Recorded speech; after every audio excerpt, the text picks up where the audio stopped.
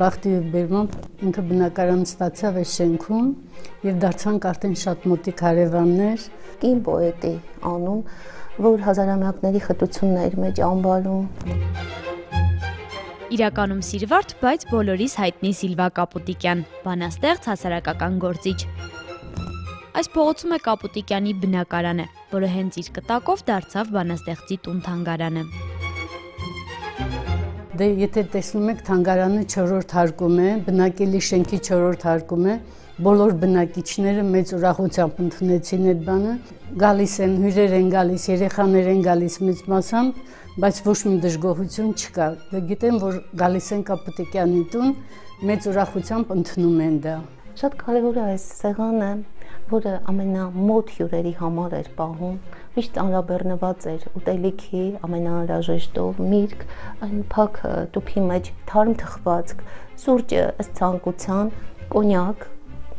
բարձրարժեք կոնյակ ընդ որում, եւ բոլորը Կապուտիկյանի տնից հեռանում էին կշտացած։ Իսկ ինքը միշտ ասում էր, «Վանեցի եմ, չէ՞, իբր մի քիչ ժողովրդության դրսևորումներ, բայց դա ուղղակի խոսքի համար էր։ Նրա նման շռայլ անձնավորության մենք չենք տեսել, չենք հանդիպել, կարելի ասել։ Սիլվա Կապուտիկյանը ծնվել է Երևանում, Վանից գաղթած ընտանիքում։ Իր տանն էլ Վանի անկյուն ուներ, հայրենիքից մի կտոր։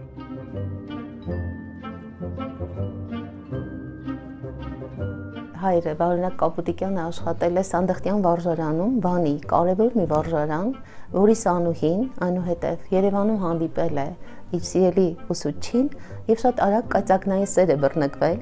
ամուսնացել են եւ պետք է ծնվեր Սիլվա Կապուտիկյանը։ Բայց դեռ չգիտեին արուզավակ է ծնվելու, աղջիկ է ծնվելու եւ կատարվում է անսպասելին։ Հայրը խոլերայի համաճարակից վարակվում եւ մահանում է մի գիշերվա մեջ։ Ծնվում է Սիլվա Կապուտիկյանը, հետո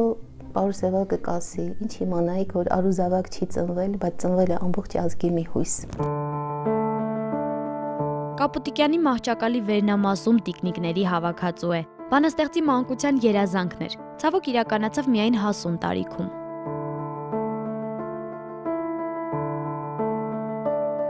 շքեղ տիկնիկ ունենալու ցանկություն ունեցողը միևնույն չէր կարող բարձրաձայնել, որտեղ գաղթական բակում, որտեղ խոսվում էր Հայաստանի բոլոր բարբառներով, երեխան գիտեր, որ չի կարելի նման բան խնդրել մայրիկից։ Գնում է Աստաֆյանի այդ հայտնի խանութը, որի ցուցափեղկին դրված է լինի մի շքեղ տիկնիկ, ճերմակ մաշկով, դեղին մազերով, կապույտ աչքերով եւ ամը դնում է Շուշա տիկնիկ։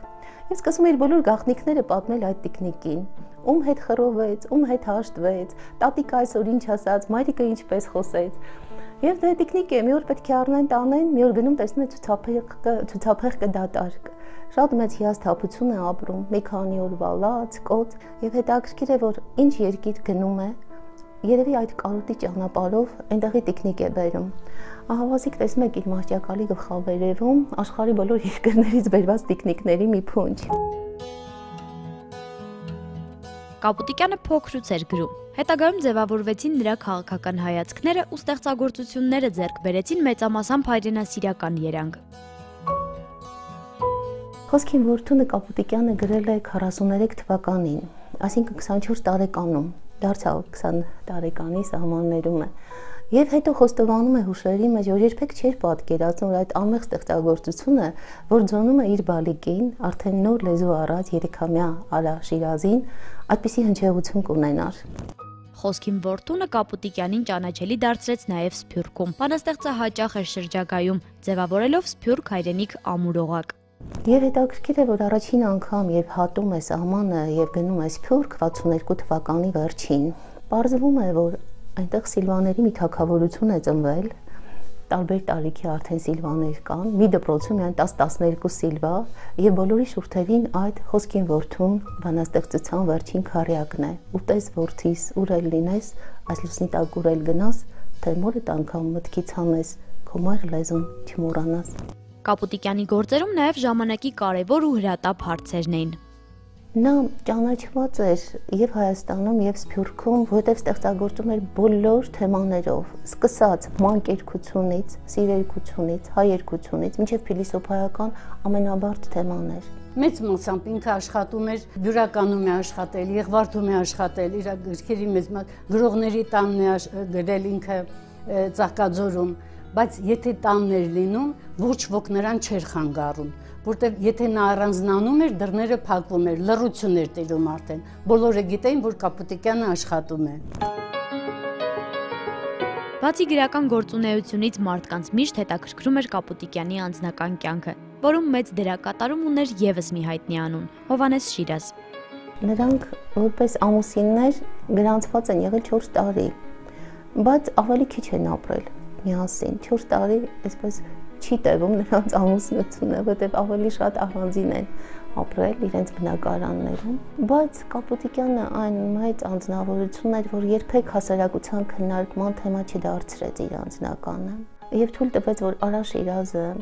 ոչ միայն եղբայրություն անի, այլև հայրություն անի իր 7 քույր եղբայրներին։ Արտակինով գեղեցկուհի չէր, բայց այնքան համայի չէր ինքը։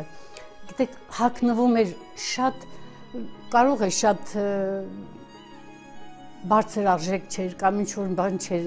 հակնված է, բայց այնքան ճաշակով էր հակնվում։ Ինքը անձամբ գծագրում էր իր